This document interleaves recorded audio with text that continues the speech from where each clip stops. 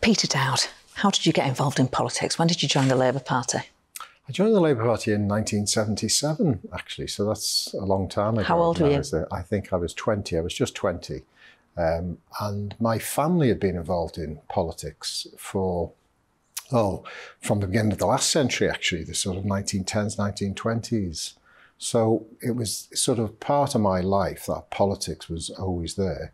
I had family members who'd been members of parliament and councillors and mayors and aldermen.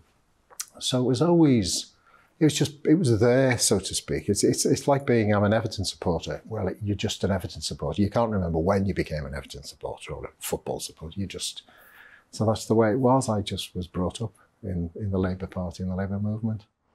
Was it always your dream to become a Labour MP? Um, not particularly, no. I, I, I don't think it sort of, for me, it wasn't like that. I'd been involved in politics, as I said, and I was involved in social care as a social worker. Actually, still I'm, still am a registered social worker as it happens, but not particularly. It wasn't, it wasn't, it wasn't an aim as such. And events happen, circumstances happen, and that's, I then got the Labour nomination, and then, of course, was elected in my hometown of Bootle. What was it like growing up in Bootle?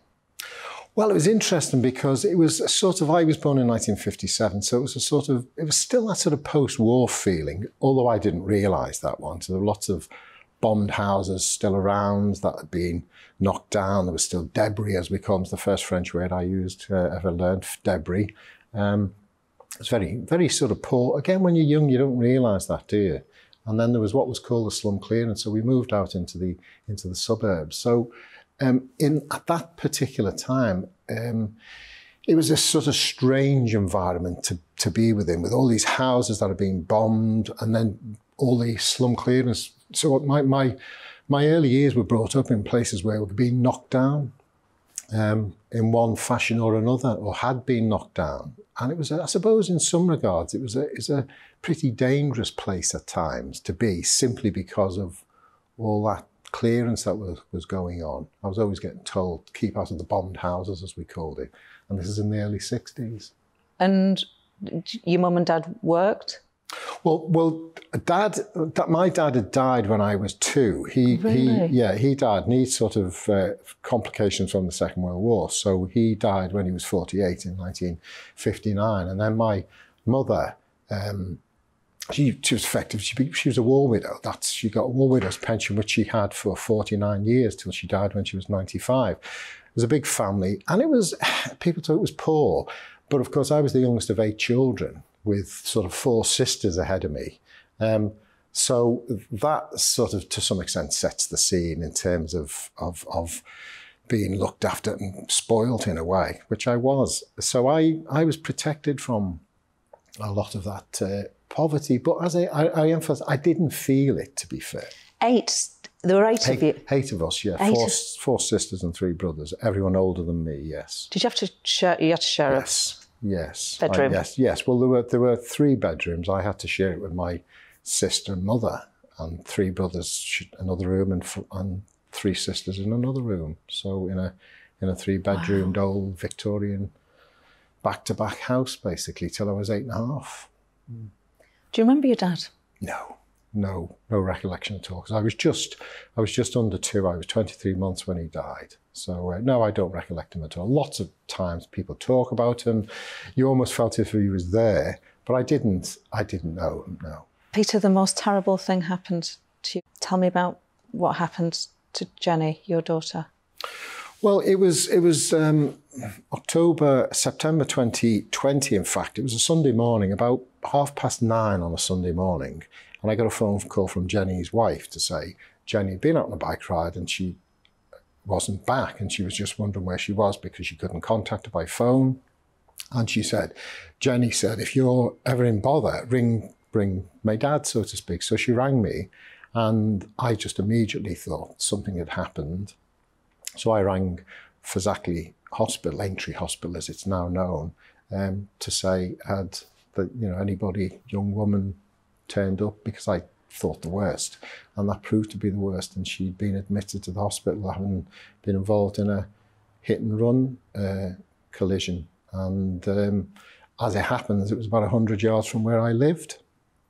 So when I came out of the house at about half past nine, a quarter to ten on that beautiful Sunday morning, it was the road was blocked off because the police were there. And what I'd heard that morning was the air ambulance, sirens, etc. And I didn't know Jenny was lying 100 yards away um, in the road, basically. So um, that's that's the circumstance surrounding it. And then um, she was badly brain damaged. It transpires, and then she died um, nine days later, um, on the sixth of October.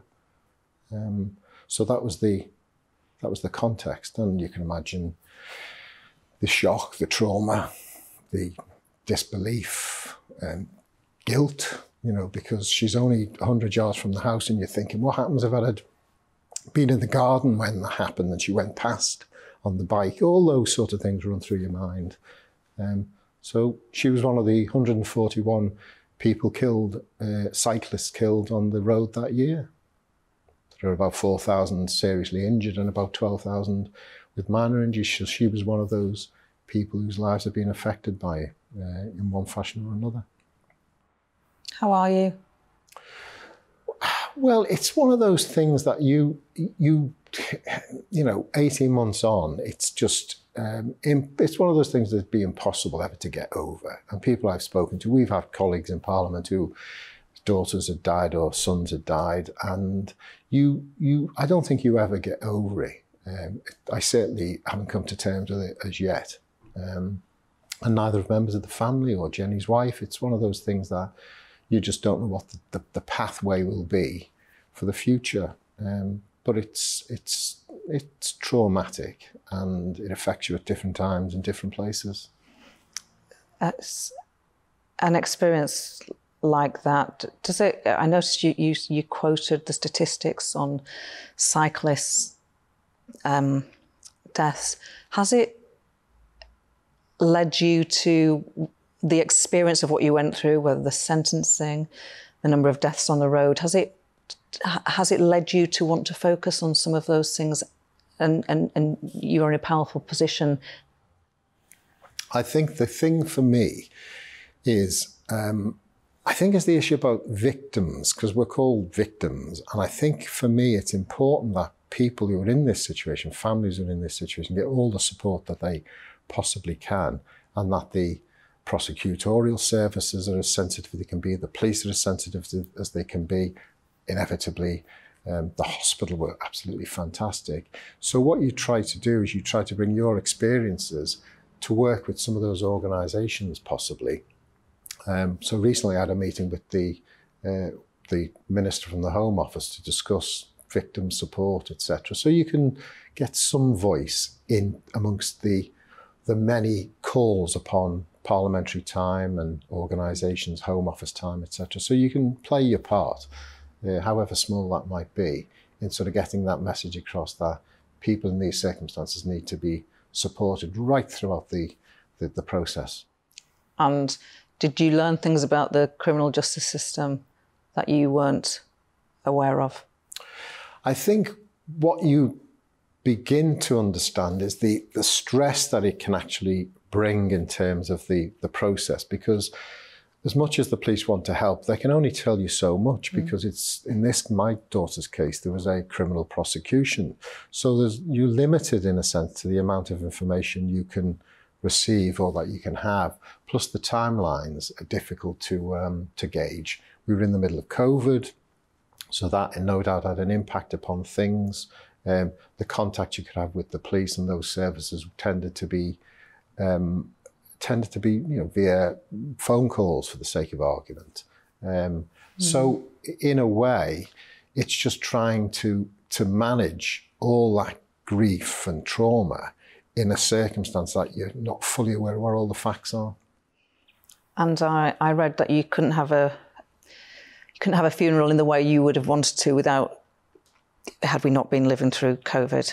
Yes, and that was that was uh, you know, you can imagine we have a big family. We just talked about how many members, brothers and sisters have. So we have a big family and lots of friends, and she had scores of friends. And she worked in the NHS, so she had lot. She she she'd really sort of had this great sort of support system, life, social life. Um, and we couldn't because we could only have 30 people at the funeral and of course 30 people afterwards at the um, at the function, so to speak, at the it wasn't even a memorial service, it's the post funeral. Um, but we were able to get together sort of on a birthday last year, near to a birthday last year, to celebrate with all the friends, uh, celebrate a life. Um, but that wasn't that wasn't a good time in terms of not being able to have everybody there to talk, to chat, to grieve, to discuss, tell stories, etc., which we ordinarily do in those circumstances. So, one of eight. Yes. Have you got the poshest job out of all your siblings? Um, I, th- I wouldn't call it that. I, I, I, no, I don't think, I don't think I'd call it the poshest job type of thing. Some people think I've got the cushiest job, basically, uh, which I must probably have, to be quite honest, out of them all, I suspect, you know. Do you love it? I, well, I do like politics. I, I do like politics. And I think if you're a sort of gregarious person, I think I'm a gregarious person. Yeah, I think so. I think so. I'm You're very maybe, warm. Maybe I'm not as gregarious as I used to be, but I'm a gregarious sort. So politics is for people, if you want uh, to be gregarious, it's a great um, profession to be in. So yes, I do like politics, but I like doing things. It's not being there for the sake of it. And you're the same. You want to do things. You want to achieve things. You want to get things on the agenda. So that's what I want to do. Do you like coming to London every week? Um, not particularly. No, I hated it. not particularly. I come down and get back as soon as I practically can, to be honest. And I think lots of our colleagues in Parliament are and were like that. So um, it's a place of work. I think of it as a place of work uh, and, and treat it accordingly, basically, and get back home as soon as I can. Peter Dowd, thank you. Thank you for being open. Everybody at GB News and everybody who's watching, I'm sure, will send their absolute love to your family. And um, Jenny sounds like the most incredible woman, and we're sorry you lost her. Thank you for being open with us. Thank you.